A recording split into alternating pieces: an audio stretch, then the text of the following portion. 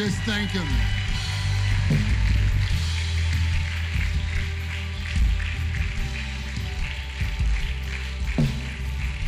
We say this all the time there is nothing like the presence of God.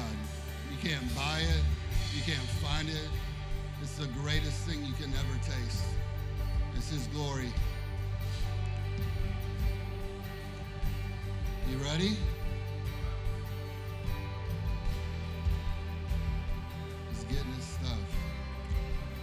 Listen, I've only known Abner for a couple years, but the couple years I've known him, it's changed my life. He's an amazing man of God. He hears straight from the throne room of heaven, and he's going to bless your soul tonight. Can we get so loud and crazy? Give it up for our great friend, Abner Suarez.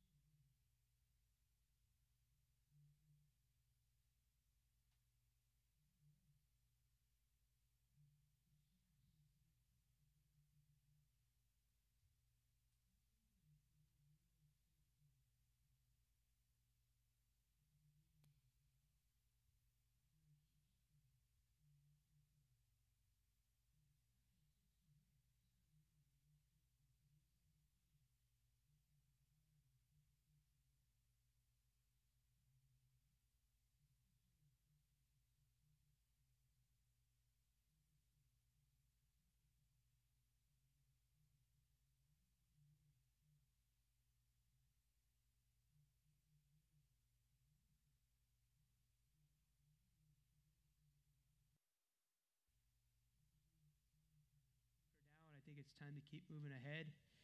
And um, I, believe that we are in just the beginning of the, the greatest outpouring the United States has ever seen. And um, there's, a, there's a great responsibility we have. And uh, I don't think that this is the end. I could be wrong, but I don't think it is. I mean, they thought it was the end when Jesus was around. So he kind of says, I'm coming soon. And it's like another thousand years. So he thinks differently. So, but uh, anyway, do you guys have that video ready? So that'd be great. So I'll just tell you about certain things we're doing.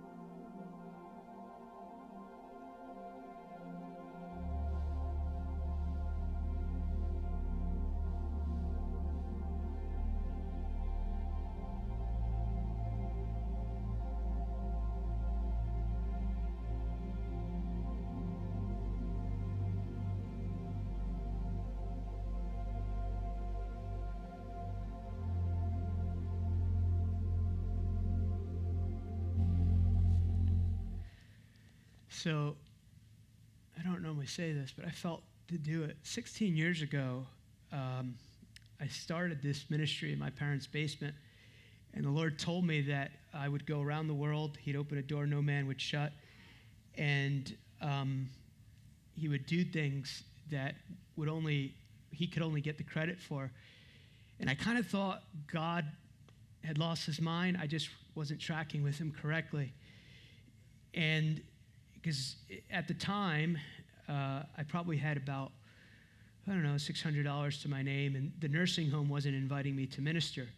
And they want volunteers, and they didn't want me. So, so you know, it's like, you know, like, can I come? No, you know, we're busy, you know.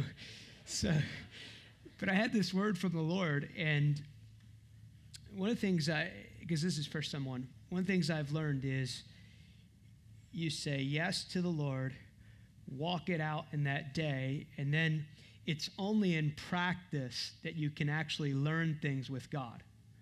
You can't learn things just by agreeing with a Bible verse intellectually. You shall know the truth. And when it says no, it's, it's like intimate knowledge of the truth. You shall know the truth, and the truth shall set you free. So you don't know the truth apart from experience. That's actually part of the challenge of the Western mind because we know things here and we've not come to know them here, and it's only in here that they change your, your, your world. And so I just began to like walk this out and just would go anywhere that they invited me to preach. And as I began to walk it out, you begin to understand certain things of what the Lord's assigned you to do. And the Lord slowly began to open nations to me. And the goal now in the nations is to do things similar to this, but we, we usually, I've learned now I need time to develop as I see myself as a builder. And I'm telling you this because you guys partner with us, so I appreciate that. Really do. Partners are the backbone of what we do. And so as we're as I'm going, working specifically with leaders, this week I was in the Dominican Republic. It was the first time I was there. We met with a leader, and my goal is not to have uh, I'm good if it's a big group, but I'm trying to identify key leaders who will run with the message and the impartation that God has given me so we can reproduce it in a nation and so nations can be changed. So oftentimes it takes quite a bit of funds because they're, they're not there yet. Uh, but what the goal is that because of the, the impartation that we're giving them, that they're going to start doing this stuff on their own and they won't need our money anymore. So that's the goal there. And uh, eh, the other part about is uh, we've partnered with a lot of other things, but as I'm going, also I'm looking for different strategic things we're supposed to build in countries. But I've learned that everything is built out of a relationship. And it's very difficult. You cannot develop a relationship too quickly. And so we're working on strategic things in the nations of the earth to actually advance things from one generation to another. And that was just, uh, just a few things. Uh, we have an upcoming event uh, February 26th to 28th. Like six years ago, we did an event at this retreat center, and God just, oh, that was wonderful. It just, just broke in, and people have been asking us when we're going to go back, and I just felt uh, to do that. It's going to be a smaller setting, so uh, 26th to the 28th, the, the purpose is to connect with other believers and have time to dig into things and things of the Holy Spirit. So that's up there. And then uh, during uh, the shutdown, uh, we just felt like we had this assignment to pray, and we started praying six days a week. Now we're praying three days a week uh, because we felt like we had this ongoing assignment, and God gave us the name Daniel Company because Daniel was this intercessor who shaped the nation in a difficult time. And uh, so uh, Melissa Plot is here. She leads our intercession. Why don't you stand up, Melissa? and she leads that call. She led it this week, and uh, yeah, you can clap for her. That was a nice golf clap. so, if you feel stirred to stand with God's people during this hour, it's every Monday, Tuesday, and Thursday at 8:04. And I've been amazed how it just feels like we're in the same room. I've had um, some significant encounters with the Lord as we've prayed. And we really don't have an agenda except we just come together. What is God doing? And then just begin to pray into that.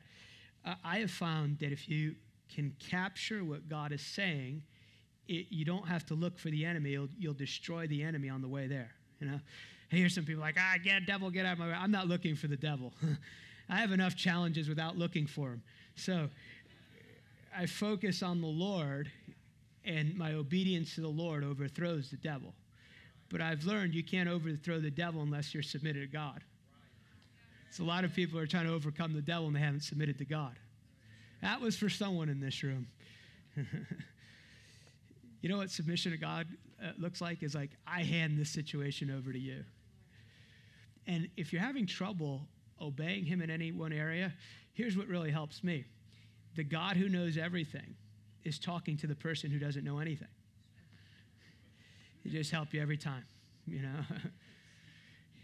eh, a little laugh there. All right, so, uh, and also uh, got my book back there.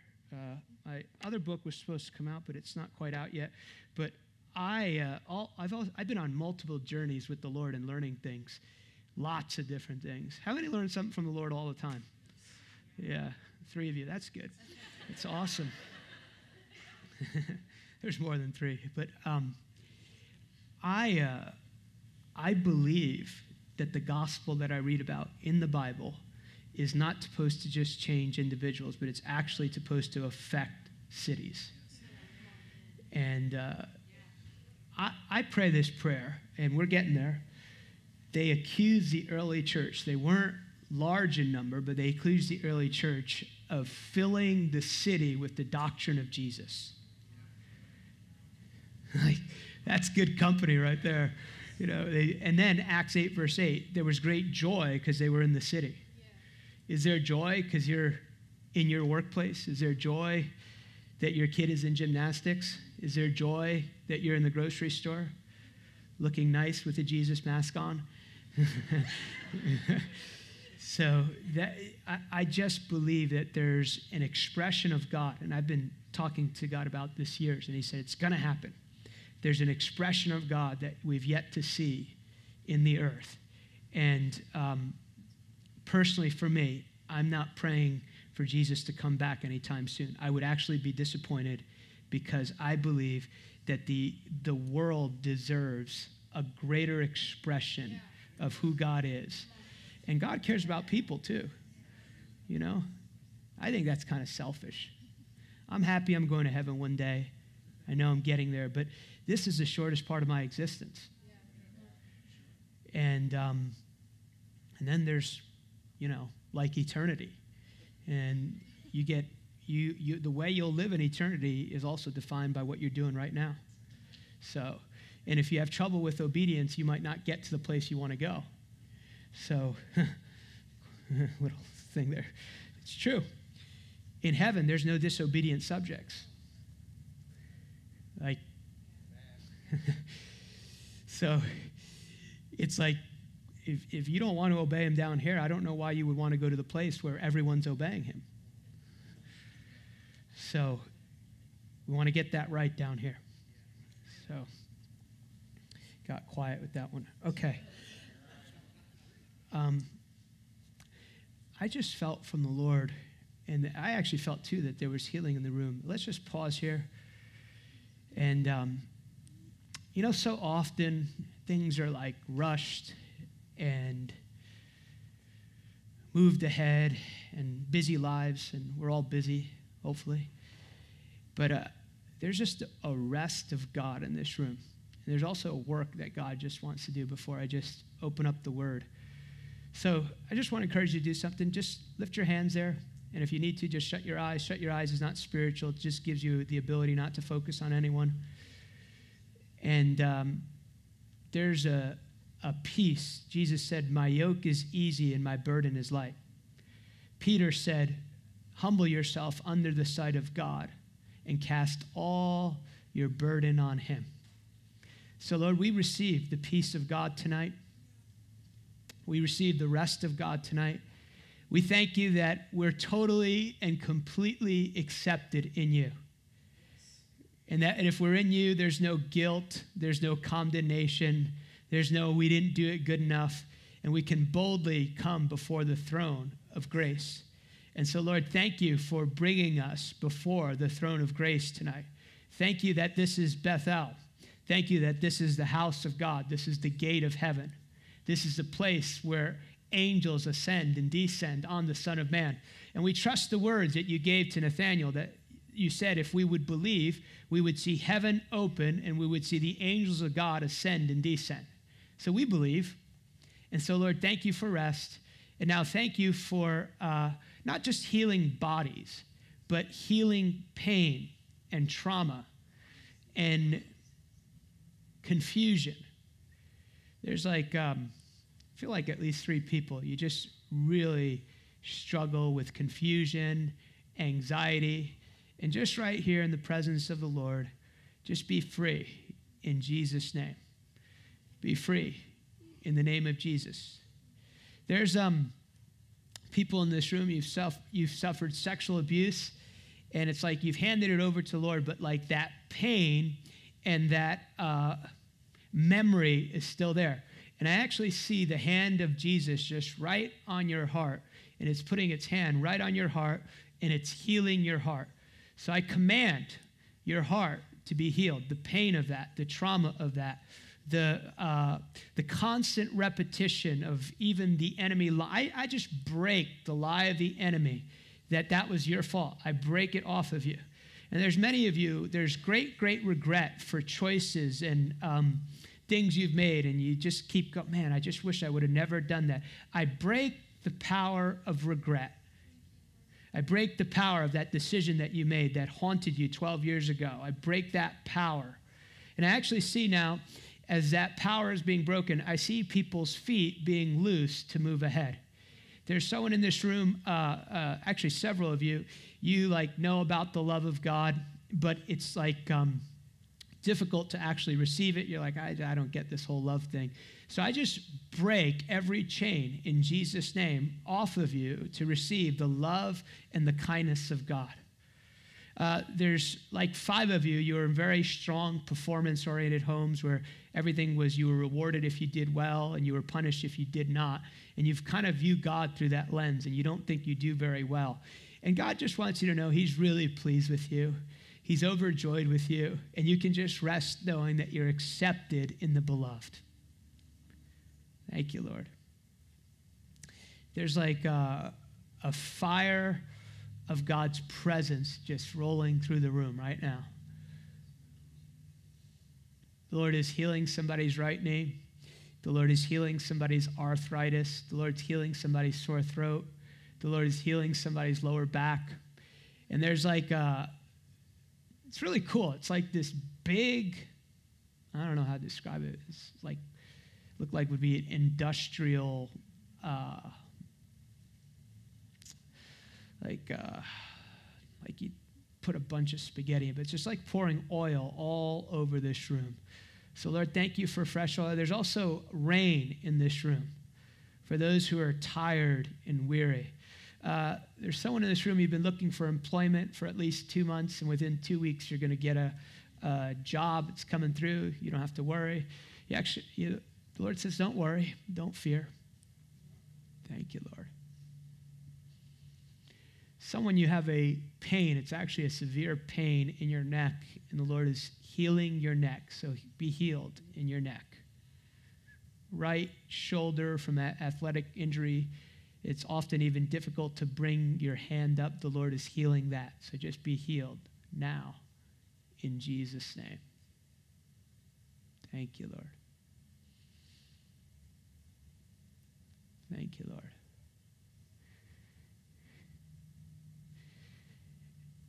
And I see like this, um, like, it's like in the ceiling of this room. It's in the spirit. And it's like this little crack of oil. And the Lord says there's a little crack in an opening of an outpouring of the Holy Spirit that I want to give you. But the Lord says you'll be responsible for unlocking that and letting it. And then it's like, I just see like if you like partner with the Lord. I just see the hands of the Lord just pushing it back. And it's like this open heaven. It's like angels. It's like the throne of the Lord. And the Lord says, I'm going to hold you responsible for opening that crack and unlocking an outpouring of the Holy Spirit for this region and for the purposes of God. And the Lord would say that this land here is land given for a specific purpose. It's been set aside for purpose. It's been set aside for outpouring. It's been set aside for families to be restored. It's been set aside for encounter. It's been set aside for seeds to go in the ground. And I see like when seeds of prayer go into the ground, it's supposed to go out and around and touch and move different things. It's a place of worship. It's a place uh, not just of worship and, and service, but a place of 24 hour worship where, where angels ascend and descend and release things even to the nations of the earth and even to this region for the purposes of God and unlock spiritual realities for people. And so the Lord says, I want to define the group of people in here by encounter. And the Lord would say, if you'll open that door, my desire for you is to go in a place that you have not been before. But it's a place of following my voice. It's a place of following the outpouring. It's a place of following the crowd. And the Lord says, if you'll build it, and if you'll unlock that door as I desire you to do, they'll come from the multitudes and I will, uh, this uh, room that you're in will not even contain the harvest that I want to give you. And I'll bring you disillusioned believers, but also bring you a great, great harvest of people who have never known the name of Jesus and restoration. But the Lord says when they come, they must be disciples, they must be equipped to be sent. Some will connect here as a family, and others will go and come just for what I've caused them to receive because this is Bethel, this is the house of God. And Jeff, I, I saw this on you just even as you were sharing tonight.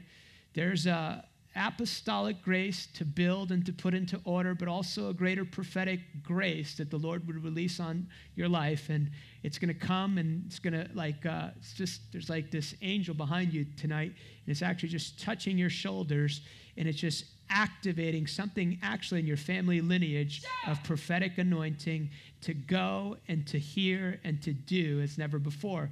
So 2021 and beyond for you will be defined by hearing the voice of God, but also going into things in the spirit that you have not known or experienced in this next season.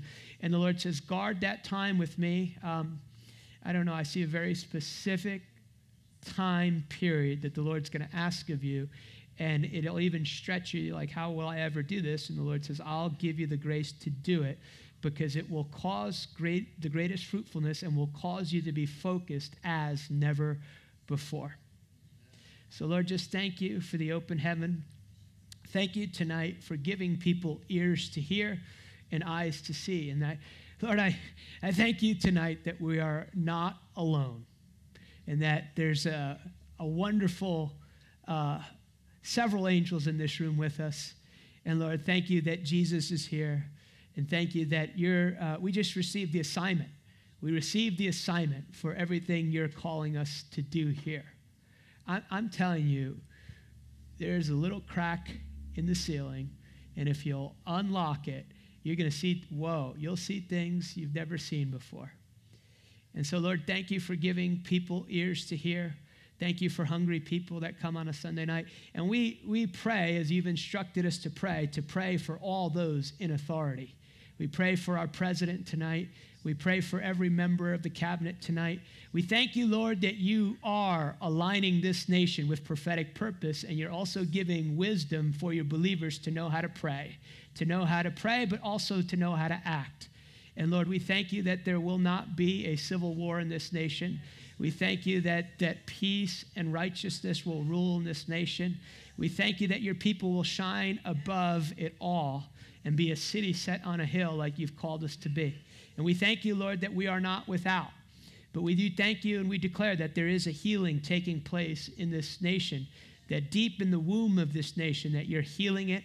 So, Lord, we thank you for the White House, the Supreme Court, the Congress, and the Senate coming into righteous alignment. And we thank you, Lord, for the body of Christ coming into righteous alignment with the purposes of God. And we thank you, Lord, for, we just thank you that there is an assignment on this meeting. So I just received that. And we ask again for words from heaven that change the earth, words from heaven that change earth. Lord, you said to us, it has been granted to know the secrets of the mysteries of the kingdom of God. So open up the word to us, spirit of wisdom and revelation. Lord, we know that we can't understand anything unless you show it to us. So thank you for understanding. Thank you for wisdom. Holy Spirit, you're the teacher. So teach us your ways, guide us into all truth. And thank you for uh, what you're doing in this room. Uh, whoever, I'm telling you, whoever that is with the back, the Lord's healed your back. It's healed by the end of the night. In Jesus' name. Amen. Amen. Whew. All right. Um,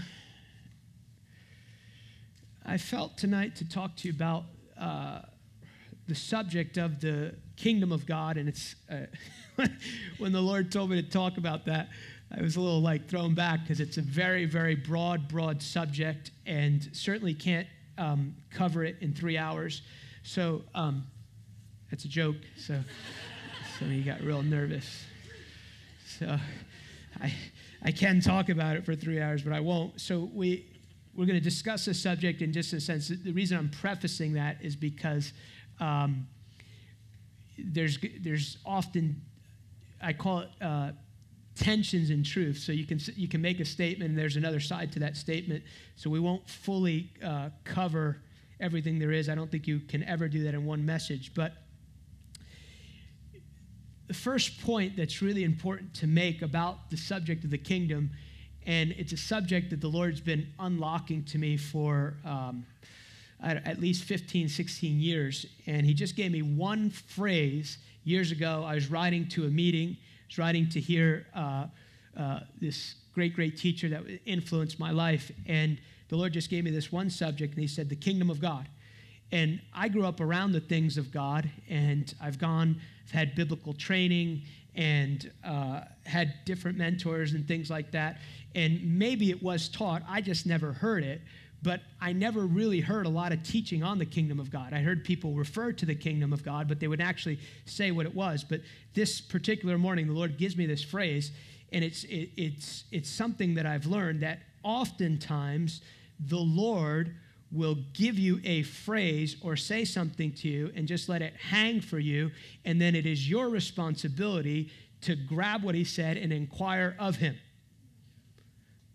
And it's only your hunger to learn about what he has spoken that will actually give you understanding and actually cause you to be as fruitful as he wants to be in the earth. Because God has this aspect of him called his holiness. And sometimes when people they, they think about holiness one dimensionally and they think that holiness, you know, live right, and that's right. But holiness it simply means this is that God is integrous and just in everything that he does. Like sometimes when people say, like, you know, why would God send somebody, all this stuff, like, I, I didn't write the book.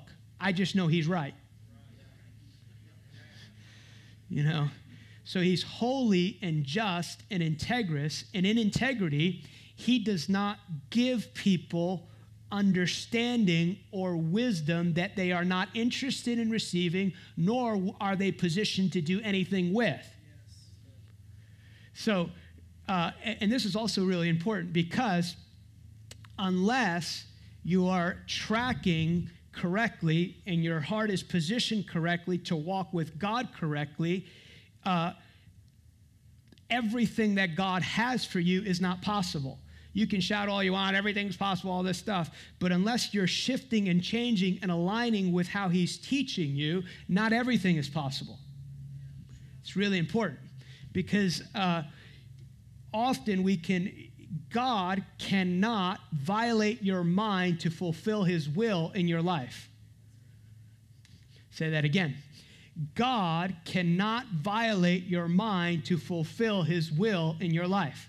Think about this. The will of God is this is just simple simple example of this. The will of God is for everyone to become born again. But they have to agree with that and they have to align with that. The will of God might be for many people in this room to be millionaires. But if they don't start tracking with God in that area, they will die in that job that they're in thinking that's all God had for them. So, not everything is possible unless you are tracking with the Lord. And so this often takes out this kind of it, it sounds spiritual, but it's it's it's honestly it's just it, it, it just it, it, it doesn't mean a whole lot. It's like, well, if the Lord, you know, the Lord wants me to have it, it's just gonna happen. That's not how this thing works or how God relates to people. Just again, let's go to a natural example. How many own a home here today? Yeah. Yeah, did you just did you just tell the agent just just whatever you, you know, whatever you think is good for me, I'll just show up on closing day. I can see some of you are you're a difficult customer. you looked at everything, you know? And so th- the point is that you have to be positioned correctly and hearing correctly and, it, and it's not it's not like you have to be perfect to get it but there is a positioning of your heart that receives eh, that that is able to receive the proper instruction for the lord one of the goals of the enemy is to just keep you willfully ignorant of anything that god is doing without uh, or my people are destroyed right for a lack of revelation knowledge so here's the thing the enemy doesn't care if you come to Elevate every week. The enemy doesn't care if you join a group. He doesn't care about any of that stuff. He, he, he'll keep you doing that as long as you don't grow and change.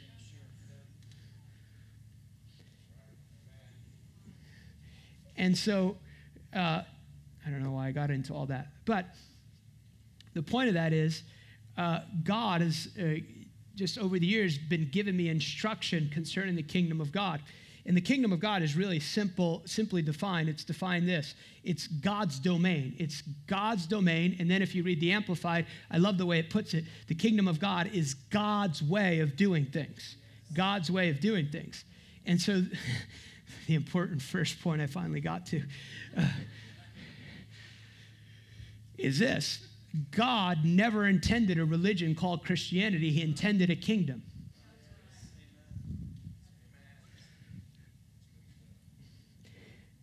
And the kingdom of God was given to humanity so that we might live as God intended us to live. God has what I refer to a divine design, and it's this He has a very specific manner in which He created the earth and He created people to function in. And if you don't understand the functions of that, not that I even have fully, I know about this much about God.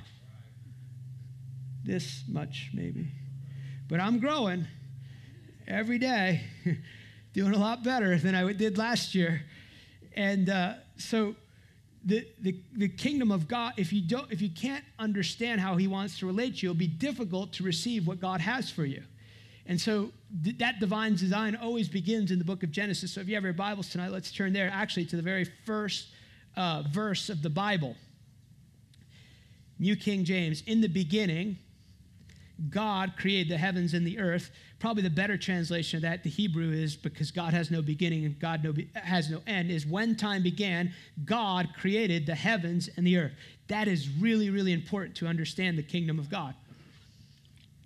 Because you'll see, heaven is a created place, and how many know that God is a spirit and he doesn't need a place to live? Now, also, this is just this is fascinating value to me is that God, what God is creating is for the benefit of humanity that he doesn't need. like to believe that God needs people is to believe that God needs something outside of himself. You know, I, I know they're sincere, but sometimes people's like, you know, God was lonely, so he had people. Like, that's the dumbest thing I've ever heard.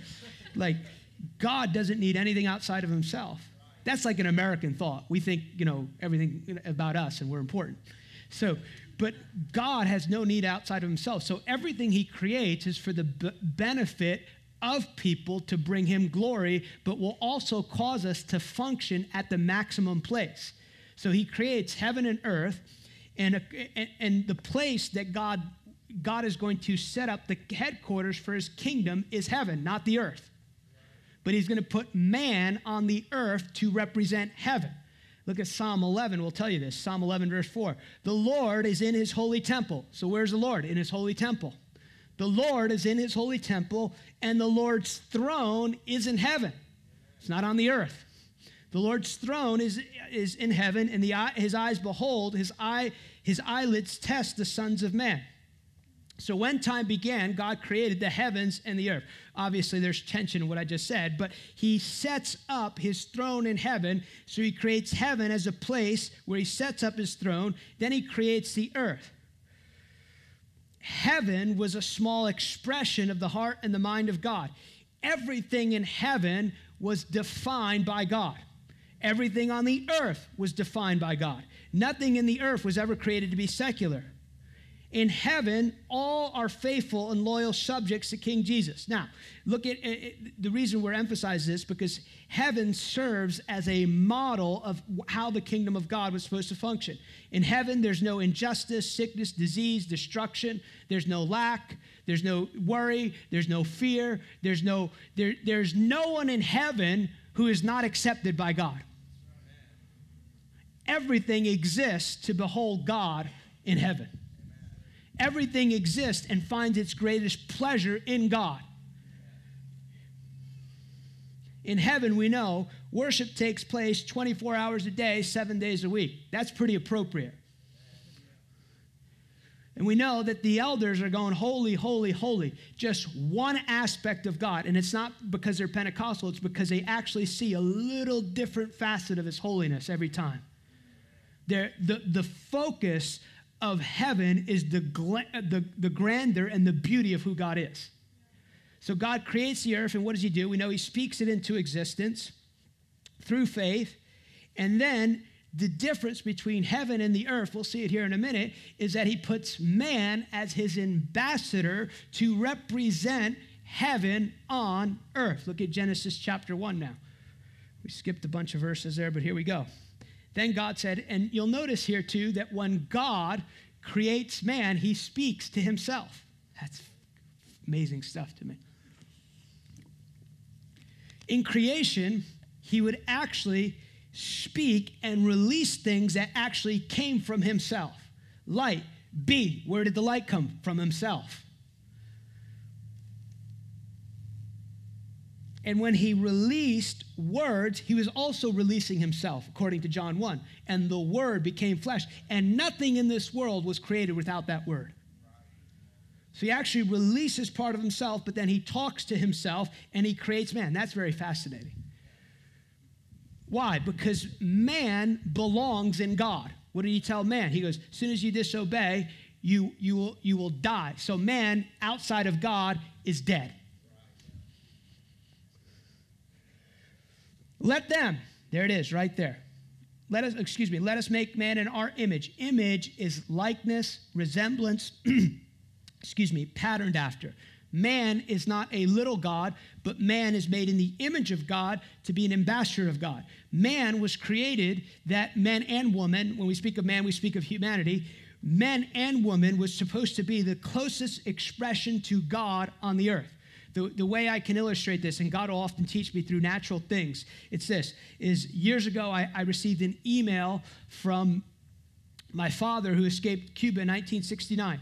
And when he escaped Cuba, he, he didn't come to this country with anything. He just came as he was. I've never met anyone, natu- maybe one person, I think, naturally in his family. So he sends me this. He goes, "This is a farm I grew up with all my all my uh, you know cousins and things." He didn't tell me which one was his, but I didn't have to ask. It looked exactly like I did at that age.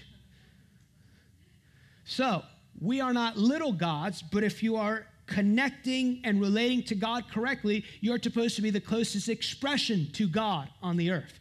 This is really important. This is a theme that God holds man responsible for.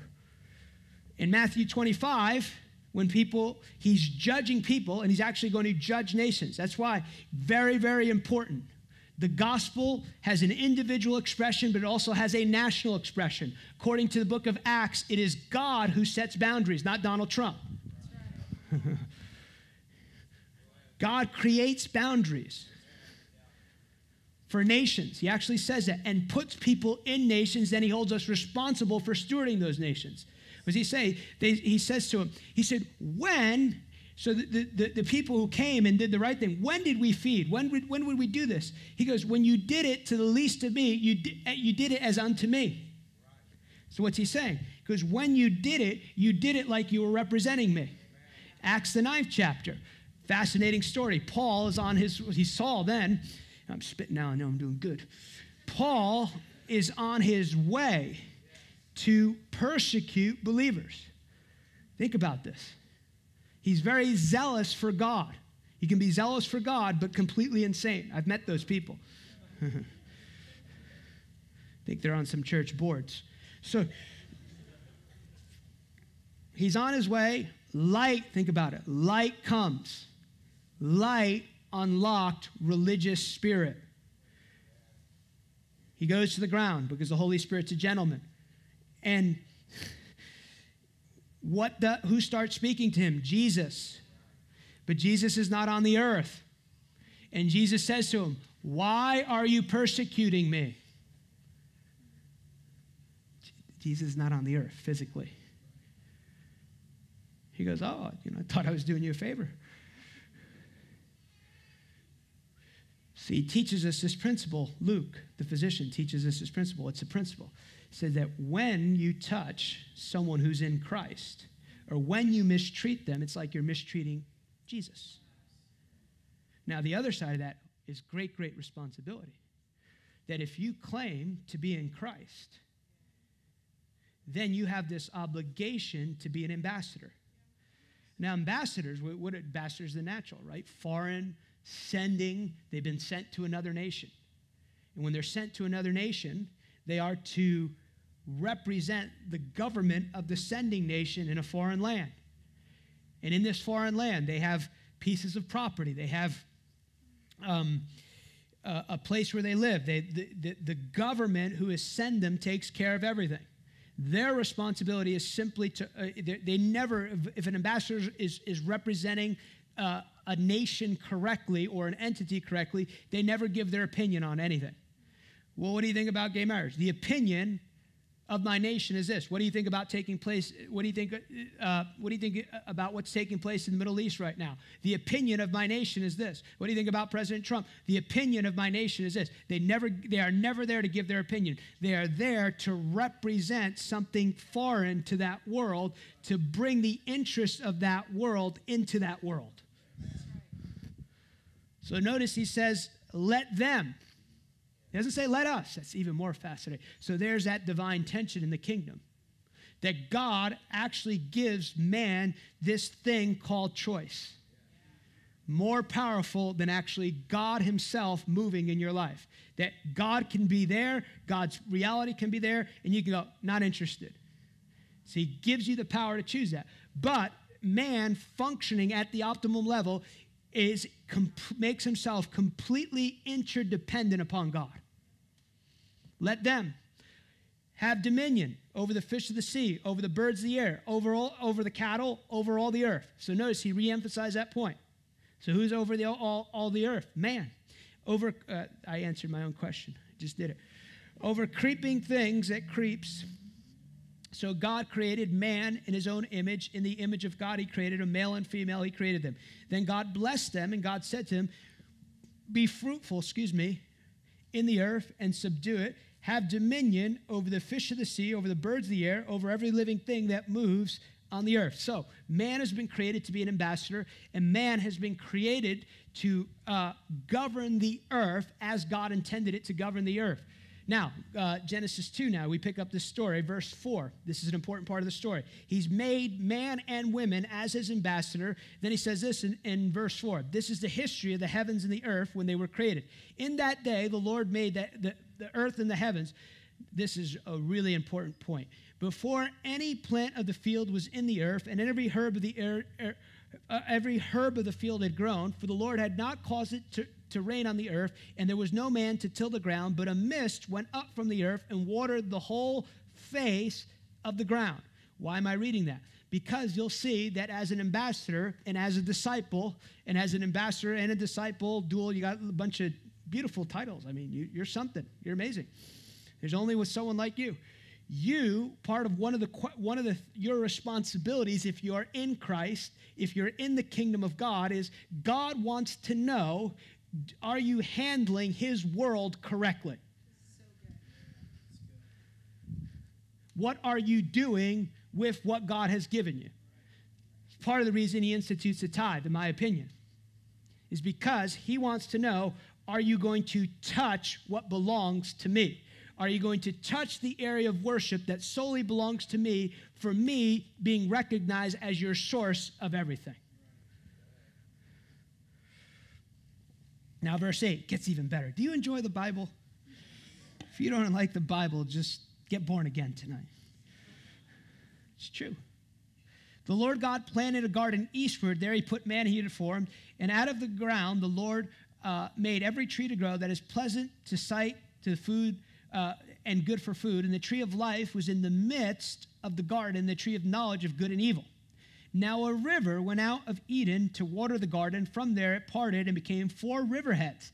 The name of the first is Pishon. It is one of which skirts the whole land of Havilah, and there is gold. Catch that part right there. There is gold, and the gold of the land is good, and bdellium, onyx, and stone are there. What else do we know? Now, if you're really Pentecostal, you say revelations. But the book of Revelation teaches us in heaven there is gold.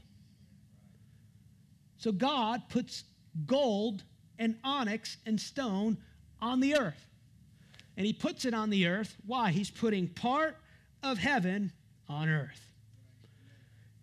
And when the world was created, it was created for man's enjoyment, for man's pleasure, and for man's discovery. Inside of every person, if they have been traumatized, abused, or, or any of the ugly things that the enemy does, it's, a, it's really tough serving the, serving the devil. People like, it's real hard serving God. No, no, it's really hard walking around with demons your whole life. It's really hard trying to make it your own way. It's, it, that's hard. His yoke is easy and his burden is light. He said it's good news. Somebody should get some good, you know, happy. I'm not saying it's always easy. I'm just saying the alternative is much worse. The enemies lied to people. Maybe because some believers are, need deliverance themselves. So, uh, thank you for the one grunt back there. I appreciate it. The earth was created, and this is, this is what I was to say, put in every human being a curiosity to discover. When the earth was created, no internet, no lights, no running water, not, none of that. And that's just like natural stuff. But we were created to discover things on the earth to make it a better place and to give glory to God. Uh, Uh, Steve Jobs is an amazing example of this. He, he had some demons himself, but uh, he did some nice things. You know, reading, you read about his life. I remember when I first saw the iPad, I thought, why would anyone want that? I got a laptop. Now I can't go anywhere without my iPad. He actually was seeing from an unseen realm, even as an unregenerate man, concepts ideas that would make life better for humanity on the earth. So, inside of every person, there is this marking to improve life on God's earth, but many of the things that God wants to give people cannot be found here on the earth. Can't be found at Ohio State. Definitely can't be found in Dr. Fauci's department. Throw a little little bomb there, you know. That's a different story, right? You can take a position on everything and still be anyway. So so there are things on the earth that we're supposed to find. But our greatest find was to be in God. And as we found God under, and, and when you think about dominion, sometimes it's, it's, it's really poorly mistaught in, in, in, in even in, among believers. Dominion is this that under our service unto God, Jesus the King, we are to serve humanity. And when we, we're under dominion of God, we never serve humanity out of our own self interest but we rise above and are excellent in what we do. And because of that, the favor of God upon us, people go, Do You got an answer for this? So here's some principles of the kingdom that are really important to understand. And this is also important relating to the world because often much of our message to the outside world can only reach them if they're in the bad place. Get that. Very important human need is this every, every human being has a longing for the kingdom of God. Every human being has it. Humanity longs to live in the shalom that was given at the garden and in and only God can find in it only God can give through the kingdom of God. That's why one of the reasons you have all these different ideas in the world communism, socialism, democratic socialism, which is really insane. And, uh, you know, it's true. But there is, the, there is an image of God functioning inside of people because they want this utopian thing. They're actually in a search for ideas and concepts that can only be found in God. All these different things, and none can satisfy them except what can be found in the kingdom of God.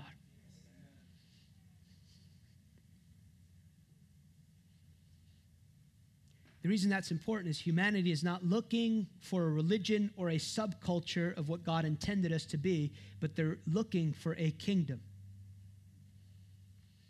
All of humanity longs for what was originally given to humanity in the garden. All of creation longed for the restoration of the earth as God intended. Look at uh, Romans, the eighth chapter. For creation waits in eager ex, this is verse 19, for the children of God to be revealed. Notice this why does creation wait? It's an interesting question, interesting statement by Paul. Why does it wait? Because it knows that when people, I don't know how it knows this, but it knows.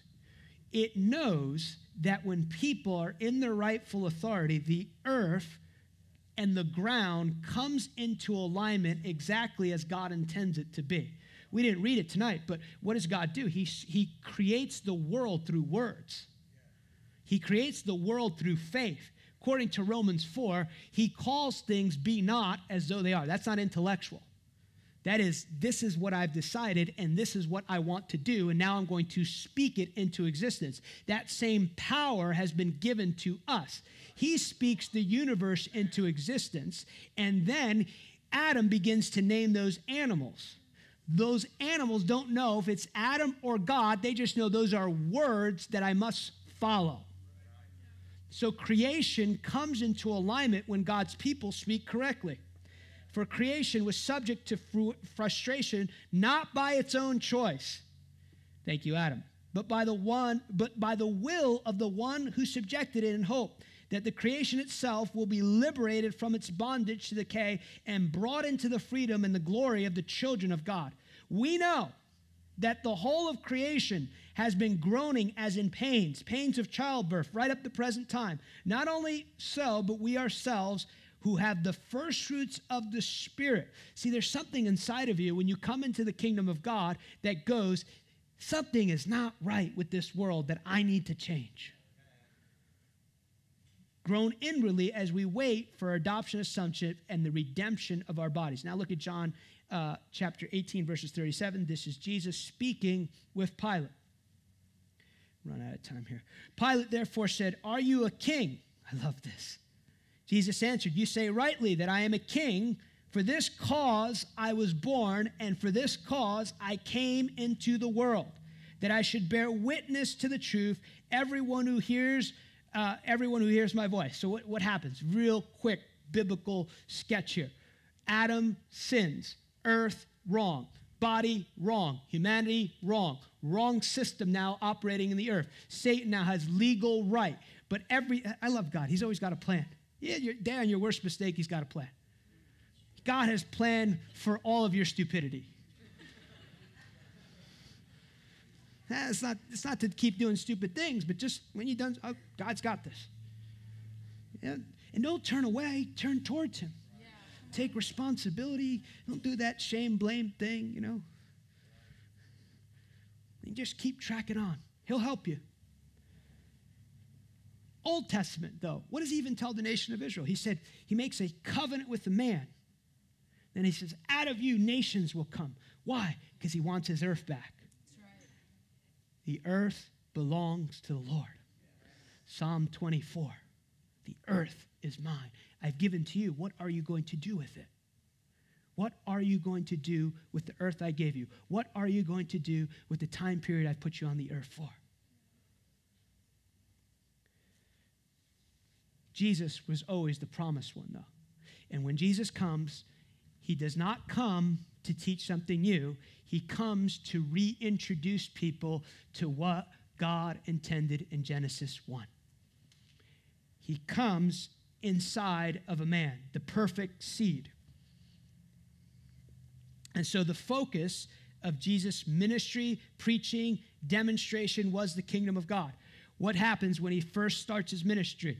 Timing. He starts his timing in the seasons. He starts in the right season. He is baptized by John. What was John's message? John's message was the kingdom of God. I don't fully understand all the implications of why he's being baptized, but this is one thing I'm convinced. He is baptizing himself and he is he is he is he is immersing himself. Why? Because he is identifying with John's message of the kingdom of God.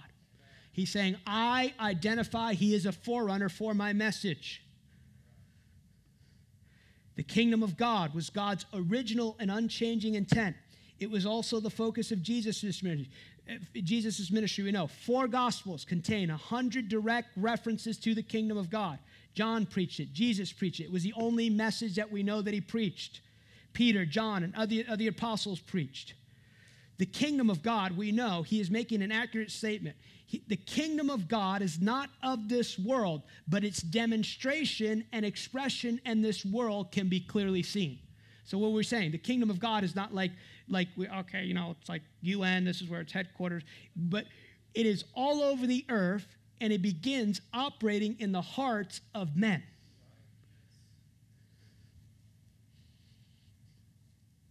Jesus' first message was the kingdom. Jesus, when he taught one of his greatest sermons, the Beatitudes, that's, oh God, I was reading that today.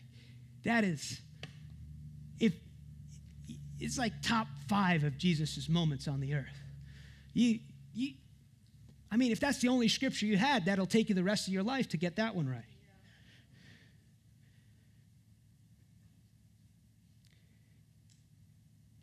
He taught about attitudes of the kingdom and qualities of son or daughters. When Jesus released his disciples to go into the world, what did he do? He taught them to preach the message of the kingdom. When Jesus taught his disciples about authority Eh, eh, that he was given them, what did he taught? He taught them concerning the kingdom. Jesus dies, resurrects, now comes back to earth. Now you'll notice too, though, very important to this idea of how God operates in this world. Jesus does not do any miracles when he comes back in a resurrected body. It would violate God's word in Genesis 1. Why? He's glorified body. He's not like us anymore. What does he teach them? He teaches them things concerning the kingdom of God. Why is this so important to present day? Because what our focus and what our faith is put in is what we produce. John chapter 3. You must be born again, Nicodemus. Notice it's not a message, it could have been, but it's not a message we ever see the gospel writers teaching about. You never hear Jesus said, and Jesus came preaching, you must be born again. He preached repentance. Change your heart because there's a kingdom. Now, yes, do we need to, obviously we need to be born again. Nobody's debating that point. But the focus is not just on getting people born again. The focus is on teaching people God's way of living in this world. It is so yeah, yeah, you want to hopefully you want to get people saved. But the avenue by which they get saved is the expression of the kingdom of God in our lives. How many can remember the day you got born again? Yeah, I hope you can. Some people, like I have friends, they, they, they, like, they literally don't know when they got born again because they've just grown up around the things of God. But the day you got born again does not define how you live today. I am, uh, I'm 42 years old. I know I'm getting younger and younger. When you don't sin, you get younger. Seriously. Just keep getting better and better. I, this is probably the best shape I've been as an adult. I feel good. The Lord's been good to me. The Lord will be good to you. You just stick with Him. Deliver you of all craziness you have in your life. Live a life of shalom, trust in God. I went to a restaurant today. I did not pull out a picture of the day I was born to that waiter. Hey, look. I got born again December 9th, 1977. It's awesome. So you think this guy needs a counselor. Why? Because that day is significant. but it does not define my life on the earth. The day you got born again is extremely significant, but it won't define what you're going to get judged by God for. Here's a little boy this week with my friend in Dominican Republic, brought his son, Justice Daniel. What a beautiful little boy. I enjoyed spending time with him. He is doing things at seven years old. That's awesome, brilliant. But if he starts doing those same things when he's 15 and 20, we will not look proudly on that. Why? Because there's an expectation that there should be a growth and a discipline beyond the day that Justice Daniel was born.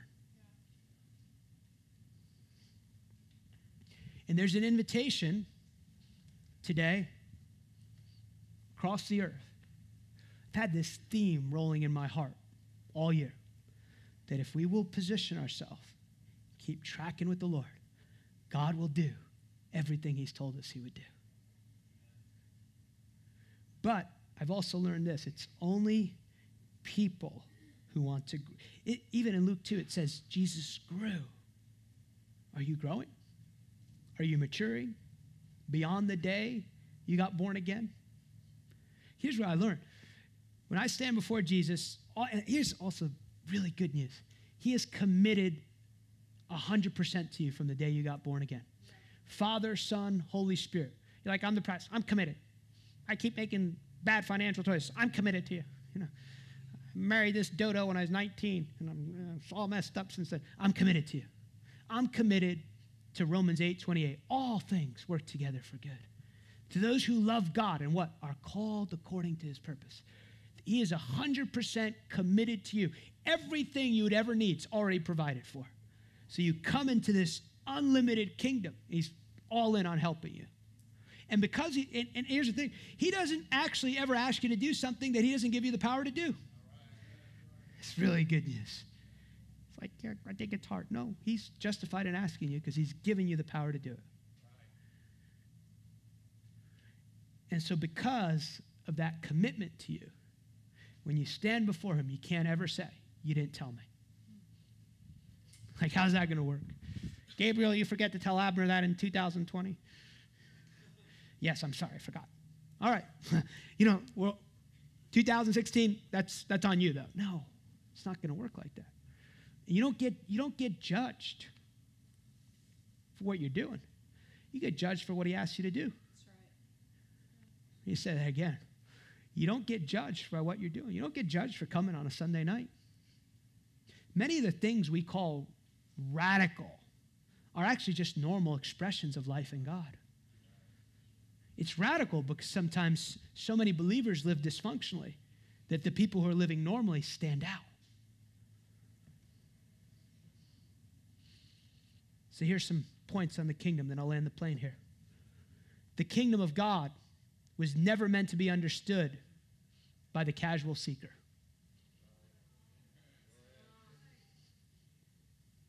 For the other side, the kingdom of God is worth everything you have.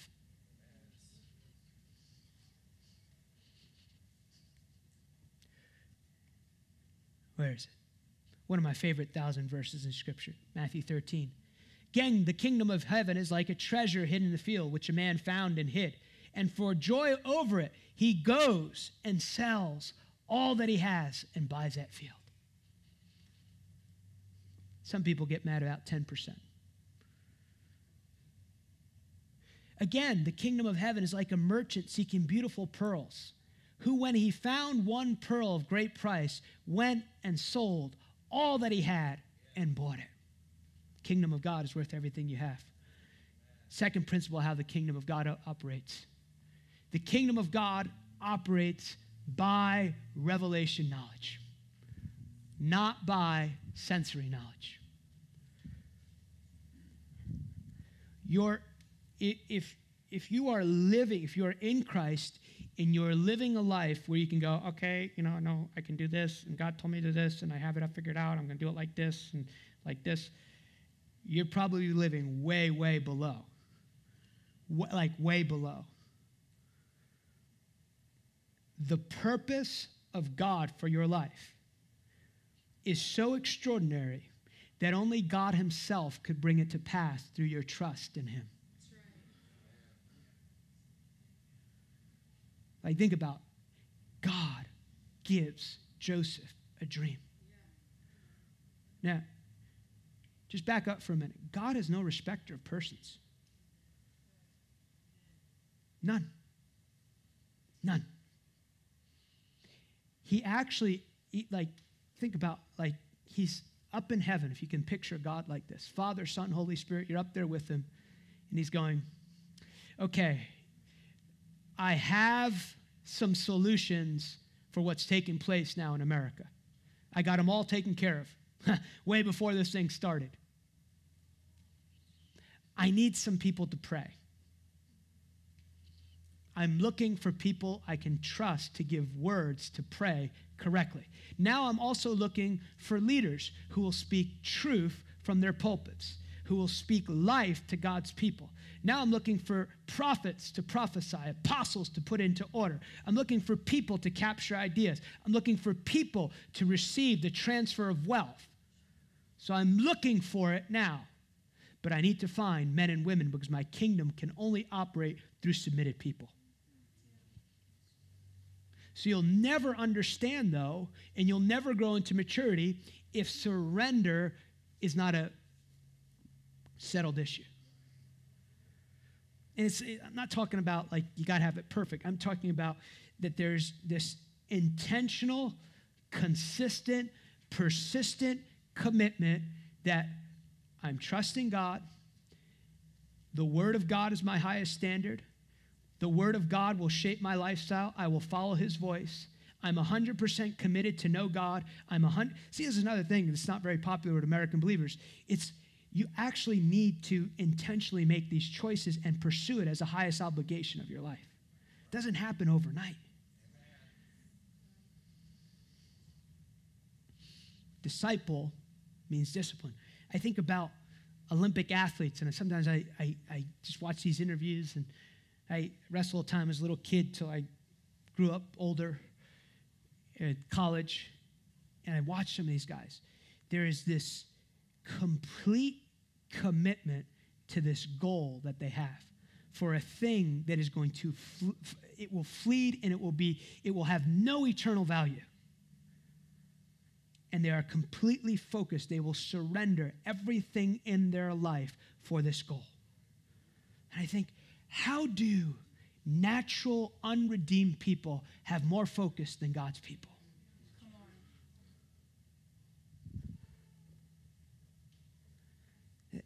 Like I said, you don't have to have it like all figured out. You can miss turns.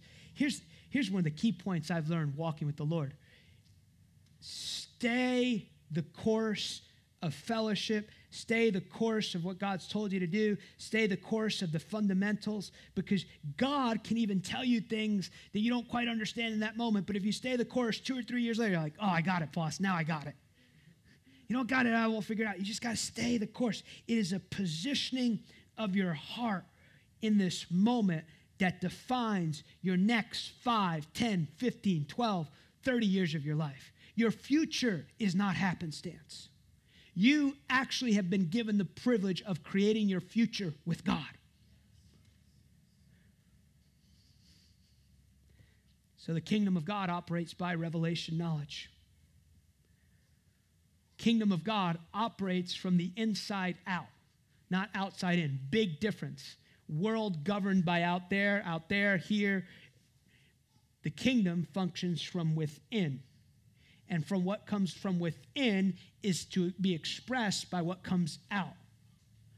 With the what? With the heart, one believes, and with the mouth, confession is made unto righteousness. So you believe in your heart, and what you believe, you say, and what you say should be expressed by your behavior. That's how the kingdom of God operates. Kingdom of God operates by revelation knowledge.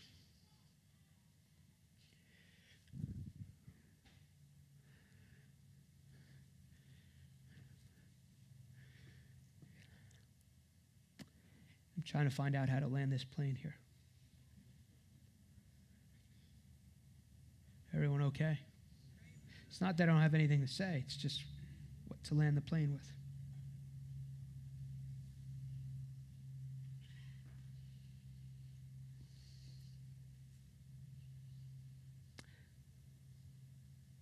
Look at uh, John, the third chapter.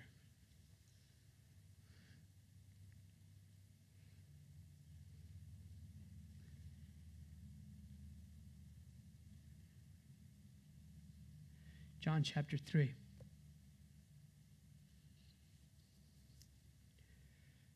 Pick up this story, and just for the sake of time, verse 3. Jesus answered and said, he obviously, he's talking to Nicodemus, Nicodemus, excuse me. Most assuredly, I say to you, unless one is born again, he cannot see the kingdom of God. He cannot see the kingdom of God. So the kingdom of God operates from the inside out. Your heart is the seat of all things. And your heart, and your here's how the kingdom of God is supposed to operate. You're walking in fellowship with God. The word of God is given to you as a gift to navigate this world. The voice of God, the voice of God never violates the word of God. You're in fellowship with God. And one of God's great desires is to teach you how to see the kingdom of God correctly. In fact, a worldview principle is this everything you see in this world is defined by what you cannot see. Unseen forces govern the world that you can see. Everything in your life has been created and built by unseen realities. It's what the, the Bible teaches. I don't have time to develop. But your privilege is to see. So when you are born again, born again to the top, God now wants to teach you how to see correctly. So faith anchors you to this kingdom world, anchors you to the idea of, of uh, ideas, concepts, wisdom, revelation, knowledge. And as, as your mind is renewed, your heart comes alive, and your heart and your heart and your mouth begin to synchronize and you begin to speak words that are from God. And those words begin to create the world that you live in. And if you begin to really track with the Lord, here's what happens you begin to see realities and you begin to see truth in the eyes of your heart before you see them in the natural, and what's on the inside of you begins to define everything on the outside of you. Genesis, uh, you see this pattern. What does he do with Abraham? Abraham, what does he do? He said, Look out and see the stars, all these things. Why? He's trying to get give him a vision of where he is going natural eyes. Jesus makes this statement. It's fascinating statement. He said, For the joy set before him, Jesus endured the cross. So Jesus goes, Oh, this is this is not good. This is rough. You know, he even prays, like, ah, you know, like if you can get me out of this one, I'm I'm good. You know. But what does it say? It says, for the joy set before him. So what? He had an image of where he wanted to go. And that image defined his behavior, not the pain he's enduring. Not like that movie didn't even, it was great, didn't even come close to portraying what Jesus went through. That image on the inside of him caused him to see a place that he would eventually uh, create for humanity if he went through the difficulty of the cross. For the joy set before him, the image that was on the inside of him. His belief system defined the outside world. So the kingdom of God is an inside job, and it doesn't happen overnight. That's why you need to get delivered of wrong concepts, trauma, difficulty, pain, all this other stuff. And here's the great thing about revelation revelation gives you an understanding of what is not working in your life. And God is incredibly practical. So you go to work and, you know, somebody says an offhanded comment and just go, oh, you're kind of looking a little heavy today. And you're like, ooh, that really hurt me. And it was just an offhanded comment. You know, they were just joking. But it went in your heart, and your heart is now indicating to you trauma that needs to be healed. So it comes up, and now it's a place of divine exchange, or even better, me, not you. You go to the airline, and they're mean to you, nasty to you You, you, you, you, you respond. They reap what they sow. So you respond correctly and you go, something's really wrong with me. So you get to identify what's on the inside of you that is, but here's why it's so important to identify those things and deal with those things because they are defining your world unless they're healed. Okay, I am going to land the plane. Verse 5 Most assuredly I say to you, unless one is born of water and the Spirit, he cannot enter in the kingdom of God. That which is born of the flesh is flesh, that which is born of the Spirit is spirit. Do not marvel that I say to you, you must be born again. The wind blows where it wishes. You hear the sound of it, but cannot tell where it comes from and where it goes. So is everyone who is born of the Spirit. And Nicodemus answered, said, How can these things be? Notice, Jesus expresses a principle by which he taught the kingdom of God. He would teach, I, this is very, very true for me as I, as I learn things from the Lord. He will show me incidents in my life, situations, natural things. He'll express natural things and he goes, "Hey, when this when this took place or when you were taught this by your parents, this was how I was teaching you the kingdom of God." So he will express kingdom truth often in parables. Part of the reason he did it in parables is because he only wanted the hungry to really understand. He's teaching truth, but he's actually revealing the deep things of that truth to only the hungry. That's why he would say, He who has ears, let him hear. He's not mean or cruel. He's just seeing who is really listening. So he expressed them that way. But, but that's not the highest level yet, though. In a sense, if we're going to describe it like that, because you'll hear something he says here in a minute, and this is where we'll hit the punch in it. We'll pray for people here tonight. I've gone way over. Forgive me. How can these be? And Jesus kind of, are you a teacher of Israel and do not know these things? Most assuredly, I say to you, we speak what we know and we testify what we've seen, and you do not receive our witness. Now, catch this. If I have told you earthly things and do not believe, if I have told you earthly things and do not believe, how will you believe if I tell you heavenly things? Jesus, before he left the earth, he said to his disciples things like this He said, I have many things to tell you, but you can't bear them now. I think he came to earth and he was like, Guys, I don't know if you understand this, but I was there when the world was created. I know everything about this world. I know what makes this world tick. I know I'll give you one little truth that will cause you for eternity to be marveled. Think about this, though, too. This is, this is why we need a detox of religion in America. He could only talk to them about earthly things because he had to so deliver them from all that stupidity they learned. And he wasn't coming against himself, he was coming against what had been taught to them. He created the law. He's for the law. He was created of what it became. So, why is that important? Because you have to so be guarded to loving ideas about God that are not exactly God. Yeah. I just kind of like it comfortable. Well, it's not always like that. I just, anyway, so it's all different weird expressions in America like that. People talking about things that have no earthly value. Sometimes, too, this is why if you're part of this, you should come in this room ready to, receive, not perfect, ready to receive. Bring the faith level up because you're drawing on that corporate man of God. But here's what happens if you come in with these different things, you got to kind of switch the things to I want to teach about these deep things that I had to deal with this, the unforgiveness and the just, you know, this person mad at that person and this person don't have their marriage right. And so we're down here. We should be going up here. It's the responsibility of people to be mature. But he, I think he, he was like grieved because he had lots of things he wanted to say. But he could only go down here. He could only teach out of natural things because it was where they were at. But his desire was Matthew 13. To you it has been granted to know the secrets of the mysteries of the kingdom of God. and I will utter things hidden before the very foundation of the earth. It is to your advantage that I go away.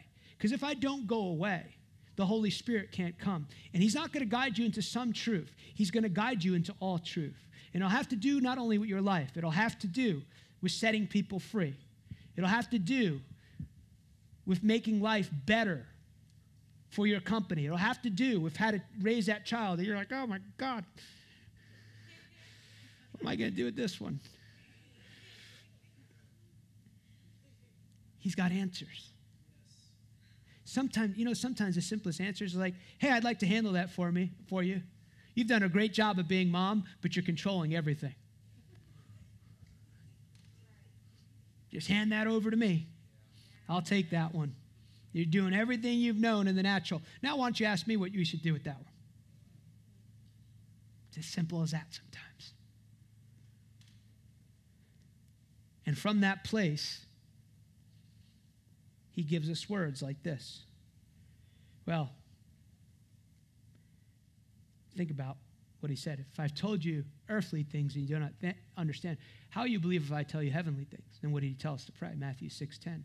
Thy kingdom come, thy will be done on earth as it is in heaven.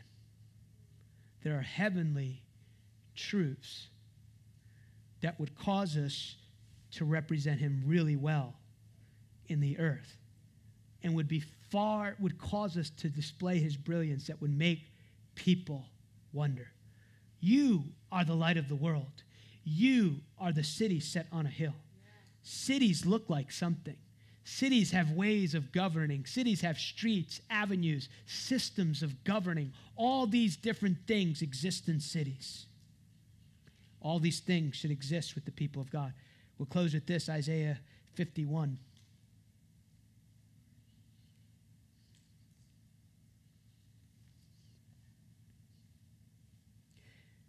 Verse 16 I have put my words in your mouth, I have covered you with the shadow of my hand, I, that I might plant the heavens. Watch what he's saying there. I've put my words in your mouth. Words. I have covered you. How did he create the world? Through words. I have covered you with the shadow of my hand, that I might plant the heavens and lay the foundations of the earth and say to Zion, You are my people. How does he plant the heavens on the earth? Through the words you speak. But words aren't just words, they're what you really believe. When you believe something and say it and declare it, it doesn't change God. It changes something on the inside of you because often, if you're going to live by revelation, I, it's like daily. God will say something. I go, I, I know what you just said, but my mind is going like this. How would that ever happen? And he goes, just keep saying it and keep putting it in your heart. Keep releasing it from your mouth, and you'll see it come to pass. And the Lord would say that the heavens are open for the people of God right now. I want my people not to fear, not to worry, not to struggle in the middle of crisis, in the middle of shaking, the Lord would say. Shaking that's been caused by even my own people's prayers in the earth. I'm allowing entities to be shaken, and even in the house of God, the Lord would say. I'm allowing entities to be shaken so that what cannot be shaken, and that is my kingdom, will stand in the end. There's a gavel of righteous judgment, judgments being released among my people, and there's a cleansing happening in the house of God in America. I keep seeing this. I see Jesus, he keeps walking around, he's walking around with a mop right now in his house. He's cleaning his house, he's purifying his house, and he's causing and he's allowing things to be shaken that we never thought would be shaken. But the Lord would say, Know that you can stand firm in my kingdom.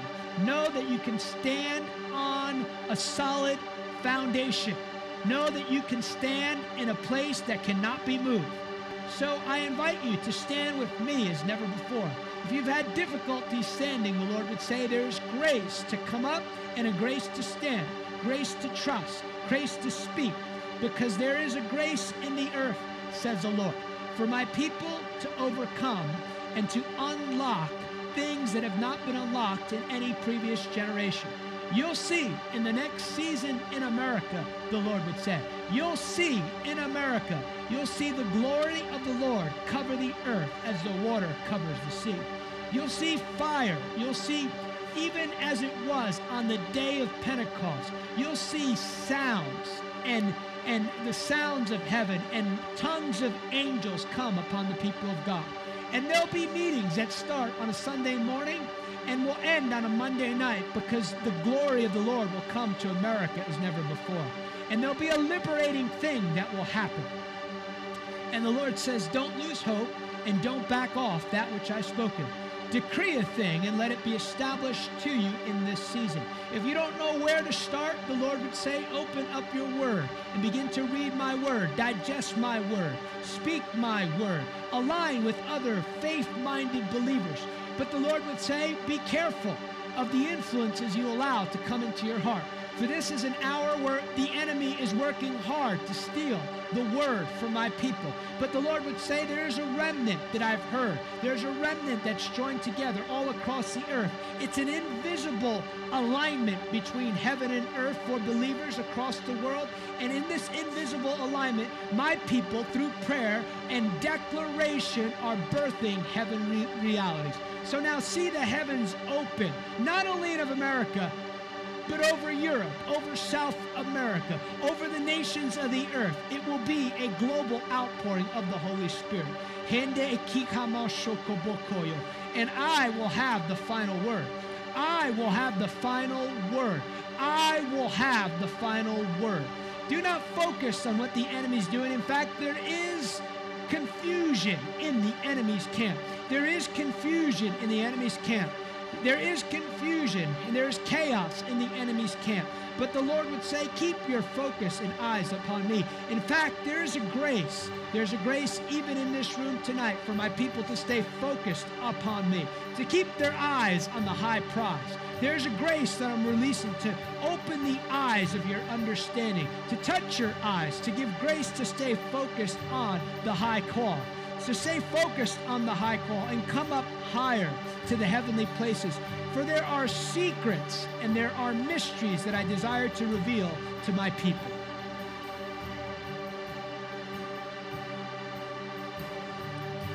If you just receive this word, why don't you just lift your hands? It's like raining in this room. Just raining in this room. The rain is here.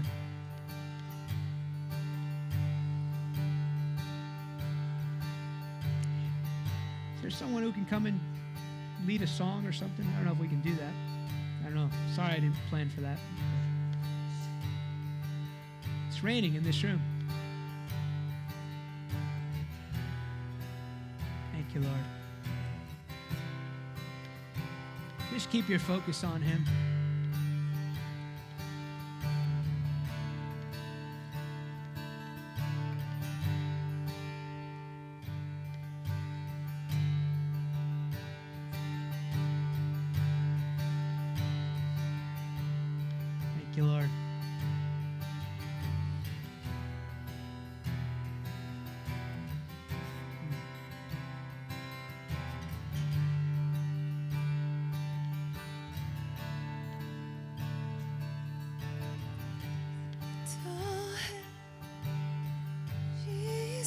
You just stand all across this room? Let's worship the Lord.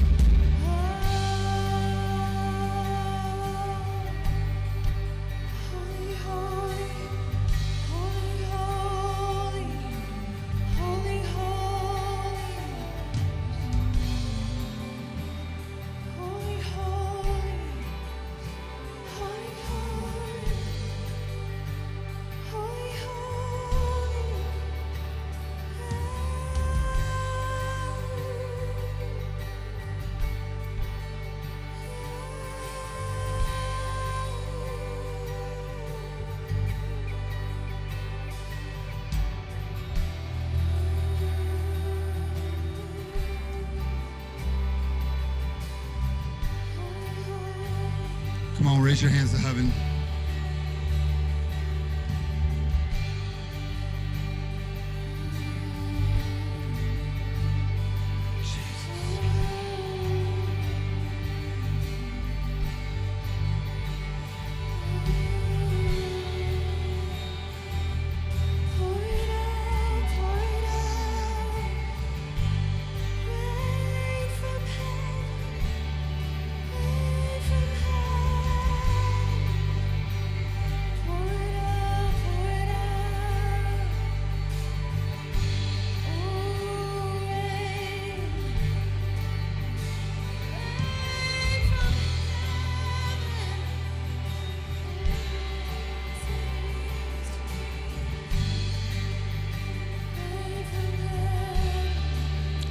Lazarus was dead, the Lord said to Mary, If you believe, you'll see my glory.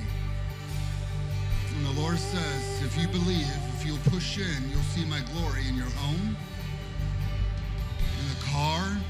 It's going to happen at work. Face to face encounters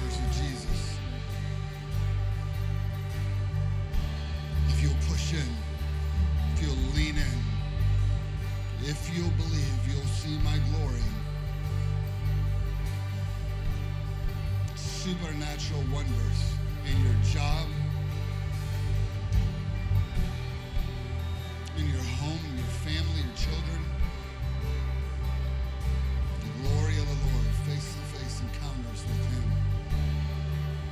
Thank you, Jesus. Uh, Abner's going to pray.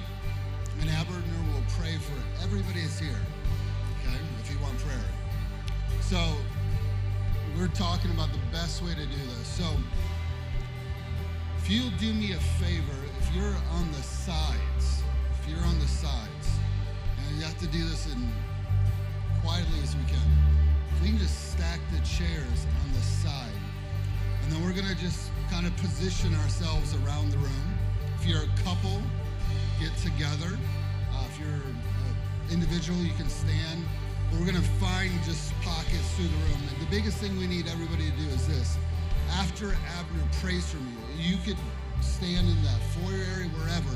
We're just going to get in spots. After he prays for you, if you'll just kind of remove yourself from that area so that he knows that he's prayed over you and we can keep allowing him to pray over people.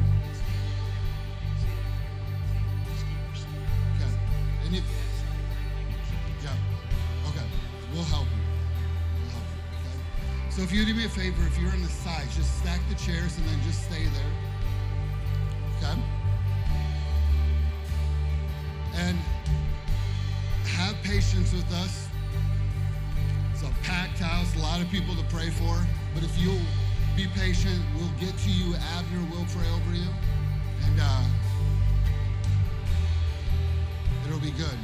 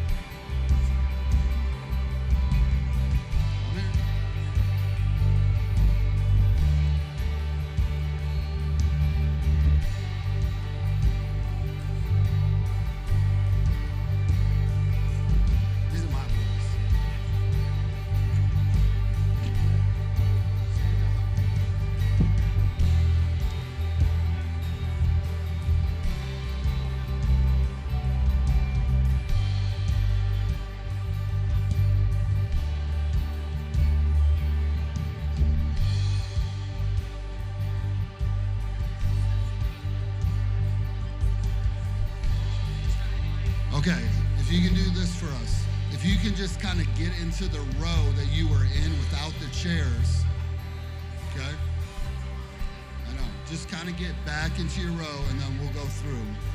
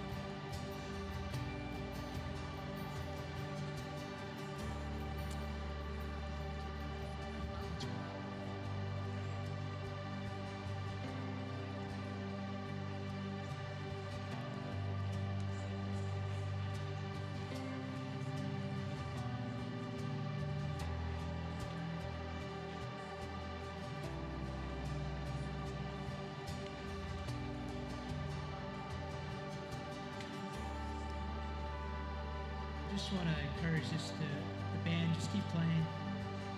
We don't need to sing anything, but just across the room, I just want you to encourage you now. Just focus on the Lord. I'm just, uh, I'm just a delivery man here, but your focus uh, is on the Lord here. 2006, I was in Mexico City, and I think that day I just bring that down just a little lower, if you would. 2006, I was in um, Mexico City. I think that day I prayed for people for like four or five hours, and it's a really powerful move of God. And uh, I got a word from the pastor that day. He said, You're going to go around the world. You're going to lay hands upon people. You're going to re- release the glory of God. There's going to be an assignment on you for impartation, transfer of the anointing. So, when I pray for you today, uh, it's not just me putting hands on you. There's actually a divine transaction that God wants to do. And I'm not uh, confident in my own abilities. I'm confident in the God who's called me. And I'm confident in what I've seen him do around the world repeatedly. He's faithful. So I just want to encourage you, just put your focus on him. The coming weeks, lots of packages are going to be delivered. We don't jump and kiss the mailman. We thank the person who's given the gift. But I'm going to believe that it'll be like Jesus laying hands upon you and everything that you would need of. And I encourage you, um, just a little adjustment to what Pastor Jeff said. Just you can keep staying in that place. We found over the years people receive much more, even as hands are laid on them. Just after, just keep receiving. I encourage you as long as you can, just stay and just keep receiving in the room. And it's possible to just uh, kind of keep conversations and things down to a minimum because God wants to do a deep work in here.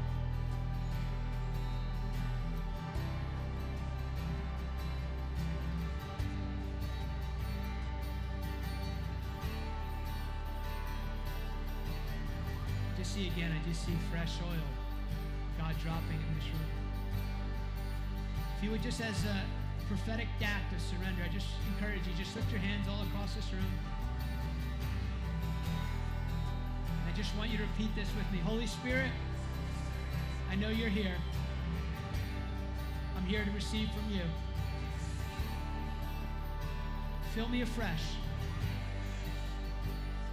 Whatever you have for tonight, I receive by faith. Whatever it looks like, I give control to you, Holy Spirit. Teach me your ways. I don't have to repeat this. Just going to pray. Lord, thank you for the rain that's in this room. Thank you for hungry people. And I ask through the laying on of hands and whatever words you give, God, I ask, God, for it be like Jesus himself laying hands upon people, imparting, releasing everything they have need of. Thank you for your fire. Thank you for your oil. Thank you for revelation. There's um, there's a particular spirit of revelation in this room that God is going to give people ideas and wisdom from this night forward that are going to define their life in greater fruitfulness. There's words that are going to be given tonight that will mark you. There's breakthrough. There's healing. There's deliverance. Some of you, when you leave tonight, you'll feel like a thousand pounds have lifted off of you. Thank you for the angel of oil. Thank you for the angel that helps with deliverance. Thank you for the angel of peace. Thank you for the angel releasing God, releasing gifts of the Holy Spirit. Thank you for opening people's eyes to see and to experience. Increase your power, Holy Spirit. Let your power come. Let your power come, God. Let your power come tonight in this room. In Jesus' name. I just also want you to know sometimes it takes me a while, and I don't. I'm just looking to see what God's doing in the room. I'll pray for everyone, so I might pray for somebody next to you, then maybe go to the other side of the room. I'm just discerning, so here's what I want you to do. Just keep your focus on Him. I'm just following what God's doing in the room.